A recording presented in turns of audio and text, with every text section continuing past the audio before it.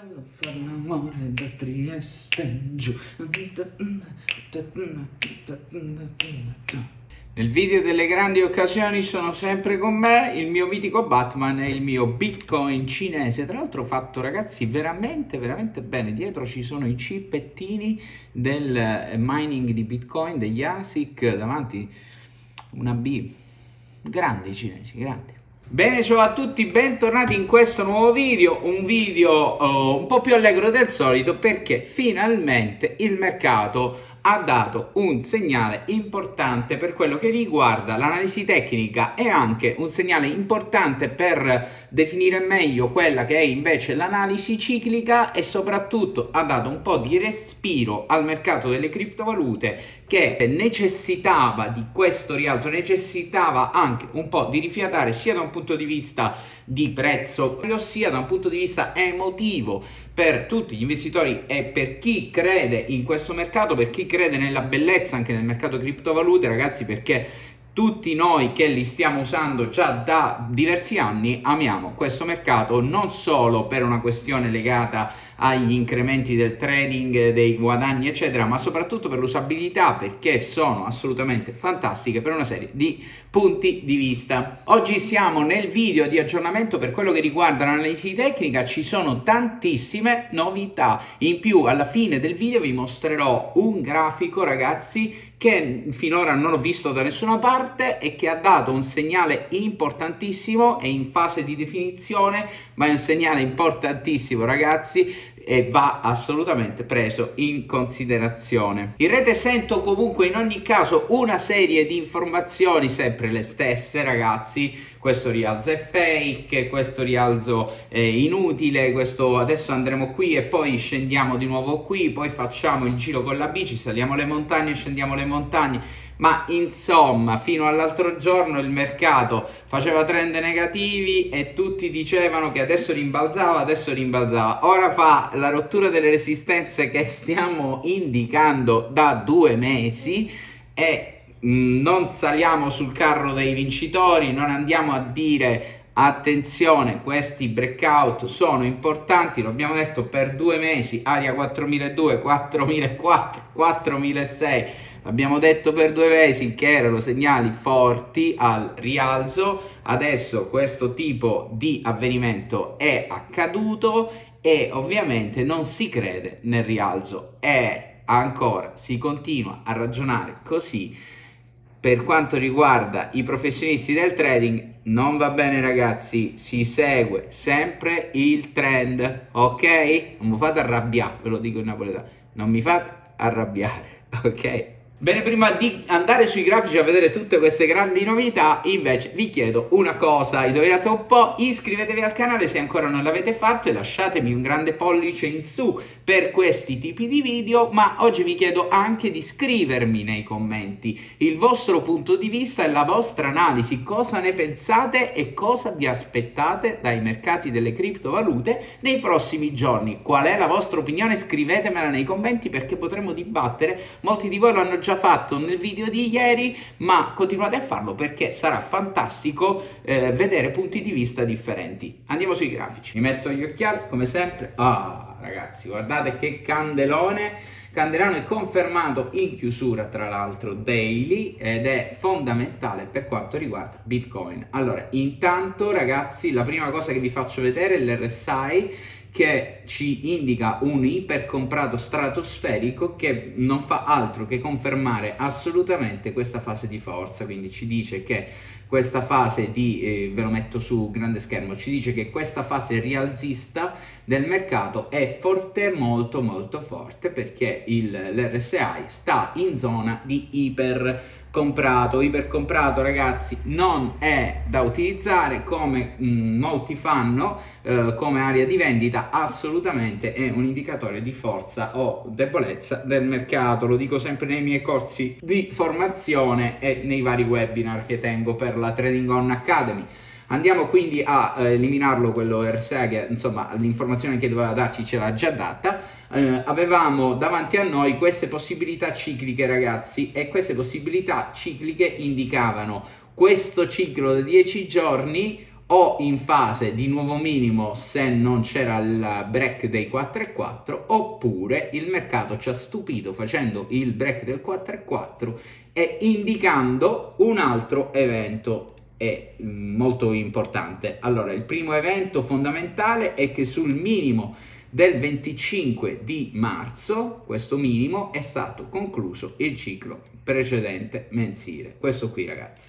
Ok? È durato 21 barre, quindi invece di andare in chiusura verso fine marzo, ha anticipato e probabilmente adesso vedremo una conformazione ternaria perché quando avviene questo da un punto di vista ciclico si può eh, vedere una conformazione ternaria quindi bisognerà stare attenti da qui ai prossimi giorni ma comunque attenzione perché questo tipo di rialzo e questa rottura del massimo precedente di questo ciclo sancisce in ogni caso un ciclo assolutamente rialzista. Questo è quello che mi aspetto in questo momento.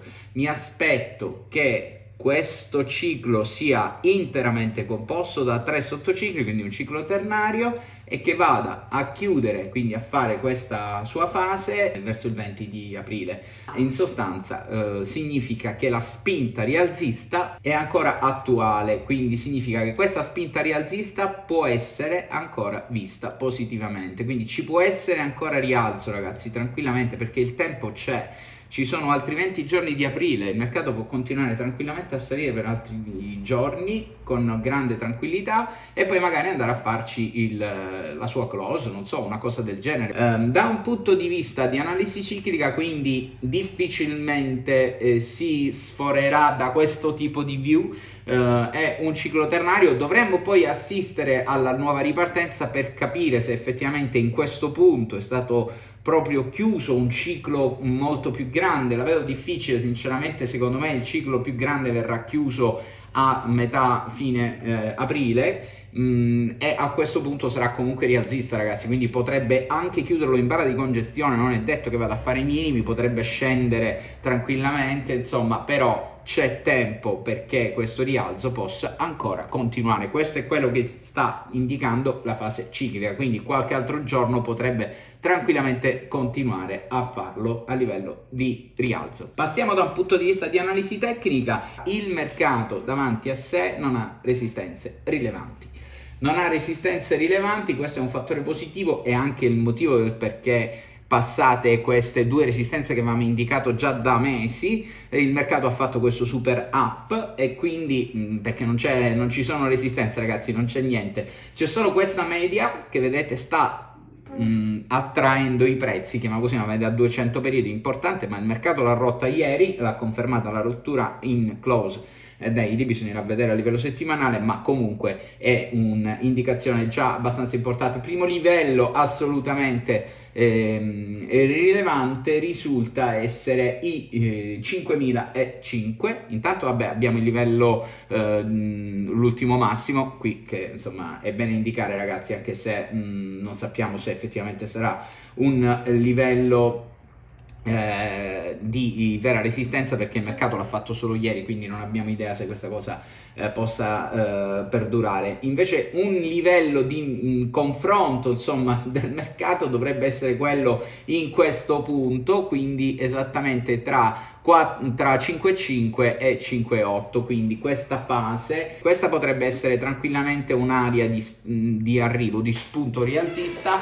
La vera resistenza ovviamente ragazzi è qui attorno ai 6000 dollari. È la vera resistenza del mercato cioè il precedente ehm, eh, minimo che aveva tenuto i prezzi eh, per mesi qua sotto vedete? C'è da dire la verità, vedete, questo 5.8 resta comunque una fascia di eh, importante resistenza perché era il minimo di giugno 2018 però in realtà eh, come sapete dovete sempre ragionare in termini di fascia di prezzo ragazzi. Quindi il mercato con le spike potrebbe tranquillamente sporgersi verso anche i 6.000 eh, dollari. Questo ovviamente se continuerà questa fase rialzista. Quando non lo sappiamo come sempre accade ma eh, il mercato assolutamente è rialzista. Da un punto di vista ciclico possiamo avere qualche altro giorno di spunta quindi nulla vieta che il mercato possa andare in quest'area eh, assolutamente eh, giusto così. Attenzione perché il mantenimento di tante giornate al di sopra della media 200 periodi spingerà la media 50 a fare il famoso Golden Cross sulla media 200, sancendo ovviamente il ritorno del trend rialzista nel medio periodo per quanto riguarda la cripto più amata di tutti, Bitcoin. Uh, ah, mi ero scordato di dirvi una cosa, ragazzi, perché alcuni di voi mi hanno sempre fatto le battute quando avrei detto che il mercato era in trend rialzista. Il mercato è in trend rialzista. Passiamo ad Ethereum ragazzi, Ethereum dipinto al uh, posto di Bitcoin, ancora di più di Bitcoin, Ethereum assolutamente dipinto.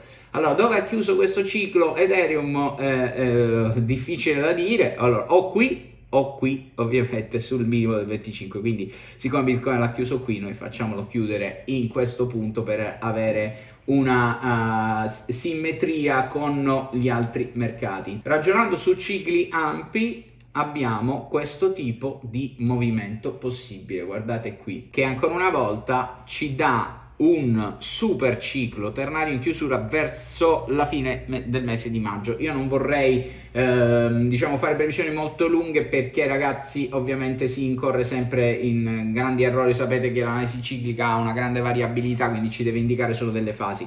E ovviamente la fase intermedia di questo maxi ciclo di Ethereum dovrebbe essere in chiusura sempre verso il 20 di aprile come abbiamo visto su Bitcoin. Ma quello lo vedremo con calma. Cosa sta succedendo da un punto di vista di analisi ciclica esattamente questo qui è partito un nuovo ciclo c'è ancora tempo perché la sua metà dovrà chiudersi verso il 20 aprile non mi ripeto perché è la stessa cosa che ho detto per Bitcoin ma volevo farvi vedere invece quello che sta succedendo dal punto di vista di analisi tecnica su Ethereum. Ethereum soffre la resistenza a 170 Oggi sta tentando di romperla, non sta chiudendo sopra, attenzione perché ha una doppia resistenza, cioè la trend line ascendente di questo canale laterale rialzista e questa resistenza statica assolutamente molto importante, quindi Ethereum deve indicare, ragazzi, deve indicare la rottura di 170 perché è importantissimo per il mercato complessivamente, non solo per questa cripto, ma indicherebbe anche per, una, per le altcoin nuova spinta, nuova benzina, nuova eh, possibilità di rialzo. Quindi assolutamente sopra 170 in chiusura daily e sarebbe anche interessante vedere la rottura di questa linea mm, blu azzurrina, cioè la rottura del eh, canale rialzista in modo da avere più pendenza, ma lo vedremo successivamente.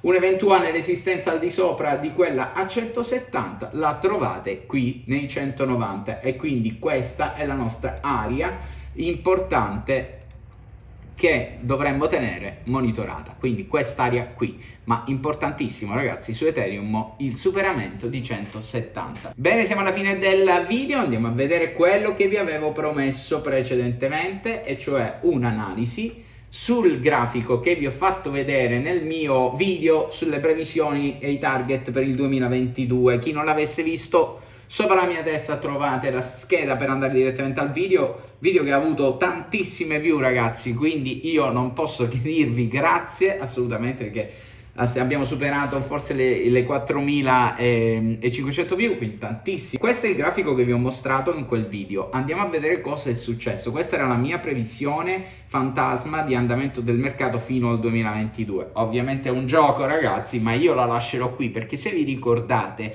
ehm, nei mesi scorsi quando avevamo fatto la previsione bassista di Bitcoin ci avevamo azzeccato, quindi vabbè, per gioco la lascio. Va bene, allora guardate qui e nessuno ne parla. Attenzione ragazzi, attenzione, attenzione. Trend line sul grafico settimanale importantissima perché sul grafico settimanale questa candela di questa settimana sta tentando il breakout della trend line ribassista che si, significa in sostanza rompere un trend a ribasso eh, da un punto di vista ipotetico perché poi in realtà la vera eh, inversione si avrebbe con bitcoin al di sopra di questo livello di massimo o di questo livello di massimo quindi sopra i 7000 dollari da un punto di vista settimanale. Però la rottura della trend line è un'anticipazione di questo discorso quindi da un punto di vista settimanale una candela di questa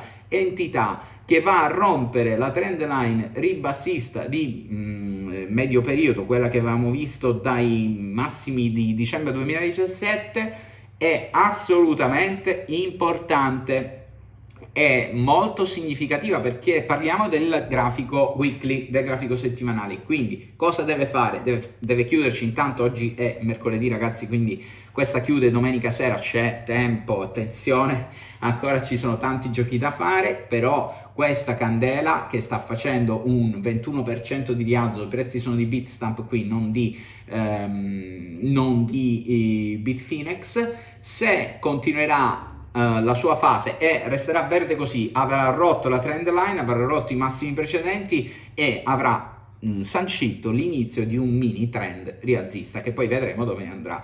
Primo livello, come vedete, di resistenza anche a livello settimanale si ha attorno ai 5700. Vediamo di disegnare anche qui un'area di resistenza che eh, potremmo avere che è questa qui esattamente ragazzi. Questa oh, la spingiamo qui perché queste sono settimane e non serve. Quindi questa potrebbe essere un'area di resistenza. Bene, abbiamo visto tutto per quanto riguarda i grafici di oggi, abbiamo visto uh, cosa può succedere anche in questa settimana, che la fase ciclica indica una fase di debolezza che però ha ancora tempo per verificarsi perché ci vuole fine mese di aprile. Attenzione ragazzi che io parlo di debolezza ciclica, non vuol dire che domani i mercati non possono perdere il 3%, questo ovviamente si chiama oscillazione. Io parlo di fase di debolezza ciclica, quindi un mini trend piccolino piccolino o anche grande purtroppo al ribasso, ok? E me lo attendo per metà fine mese di aprile. Mentre quello che abbiamo visto sui grafici è un importante breakout di eh, livelli di resistenza